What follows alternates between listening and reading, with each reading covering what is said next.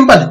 दूसरा देखिए vector A बराबर में दिया है टू आई कैप माइनस का थ्री के कैप और वेक्टर बी बराबर में दिया है थ्री आई कैप और प्लस में फोर जे कैप तो यहाँ vector a dot vector b बराबर में हो जाएगा। यहाँ देखो आई का आई का दिस घटक यहाँ टू है, इधर आपका थ्री है।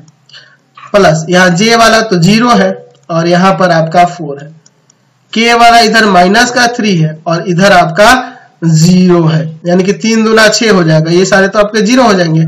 चलते हैं अब अगले क्वेश्चन पे। Question number two